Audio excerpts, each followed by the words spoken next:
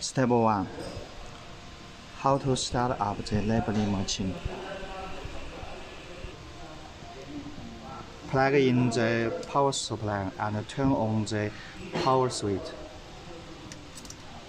Plug in the foot switch. Connect the air pipe to the filter and uh, adjust the air pressure to about 0.6 MPa.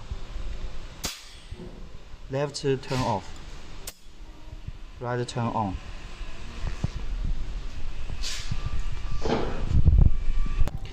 When the labeling machine have emergency situation, press down emergency stop switch button.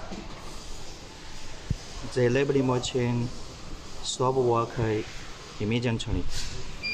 Then right return it.